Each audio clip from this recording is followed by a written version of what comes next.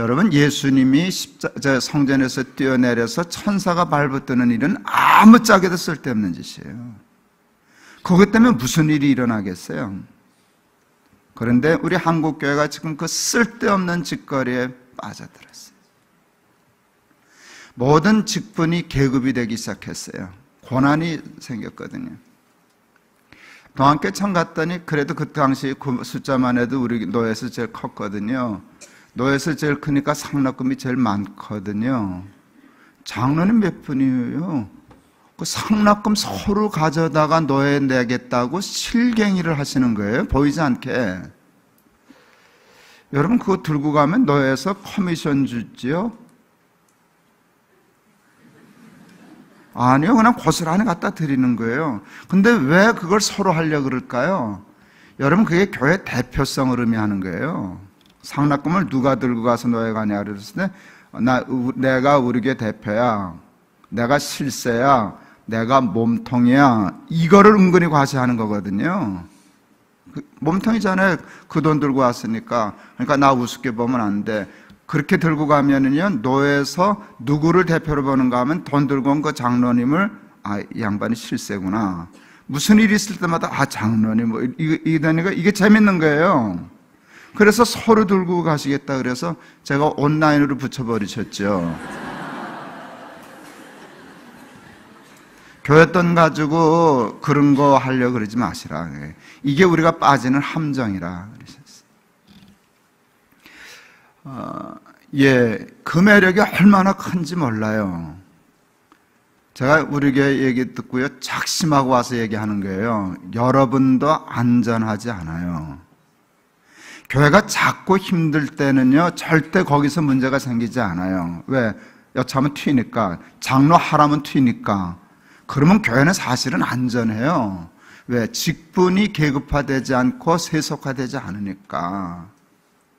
그런데 교회가 커지면 위험하단 말이에요. 목사도 위험하고 장로님들도 위험하고 집사님들도 위험하고 위험해요. 왜요? 우리 교회가 가지고 있는 힘이 엄청나거든요. 저희 교회가 우리 교회보다 7개월 먼저 시작한 것 같아요. 여러분이 7개월, 우리는 2001년 10월 7일 시작했고요. 여러분이 2002년 5월에 했다 그러시니까 거의 비슷해요. 아, 우리 교회가 우리를 추월했지만 우리도 굉장히 빨리 성장한 교회 중에 하나거든요. 우리도 석 달 되니까 천 명 모이더라고요. 예, 그 좋았는데요. 그때 제가 겁을 먹었어요. 천명 교인이 왔는데 여러분 다 처음 예수 믿는 사람들이 오셨겠죠? 우리 교회도 아니죠? 예, 뭐 다 오셨죠. 그때 이렇게 파악하니까 장로님들만 35분인가 오셨어요. 자기가 장로였다고 밝힌 사람만, 안 밝힌 사람은 모르고. 그러니까 천 명이 다 장로, 집사, 권사, 속된 말로 얘기하면 교회에서 한 가닥씩 하시던 분들이 오신 거예요. 그게 겁났어요. 여러분, 사람은 다 누구나 똑같은데요. 교회는 천 명이 모였지만 백지 상태예요. 그냥 누구든지 말뚝 받고 새끼줄 치면 자기 땅 될 수 있는 그런 상황이에요. 옛날에 땅 따먹게 하던 식으로 영향력을 발휘하기 시작하면 위험하다 생각했어요. 그래서요, 제가 2년 동안 신기한 목회를 했어요. 주일 낮 예배만 드리는 예, 교회를 했어요. 새벽 기도도 안 하고 철야도 안 하고 수요 기도도 안 하고 구역 조직도 안 하고 직분 임명도 안 하고 공부도 안 하고 하나 주일 낮 예배만 드렸어요. 교인들이 막 미치기 시작했어요. 너무 심심해가지고.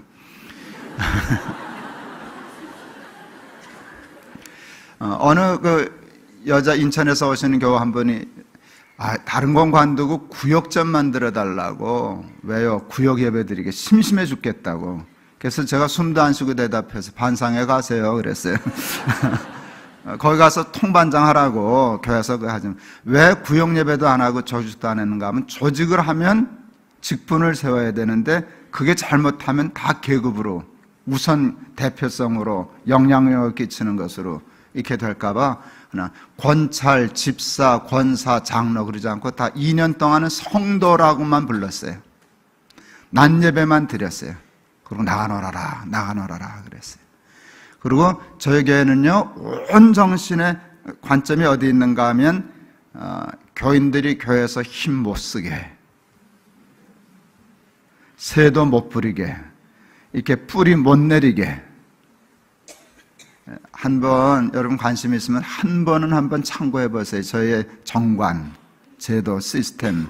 그게 옳고 그런 것도 있고 좀 좋고 나쁜 것도 있는데 정신은 틀림없어요.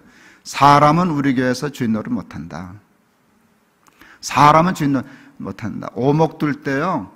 이렇게 오목 두는 사람 만나면 답답해요. 돌 세 개만 넣으면 보지도 않고 와서 막아 넣는 친구 있어요. 그럼 어떻게 해볼 길이 없어요. 우리 교회 정관은요, 돌 세 개만 보이면 갖다 무조건 막는 거예요. 미리 막아 넣는 거예요. 그래서 절대로 사람 노릇 못해요. 저희가 이제 11년째 되었는데요. 거기는 성공했어요. 우리 교회는요. 그것 때문에 단점도 있어요. 힘을 못 쓰는 단점도 있는데 그래서 힘 쓰는 사람이 없어서 안전한 것도 있어요. 양면성이 있는데 우리는 절대로 사람 주인 노릇 못하게 해요.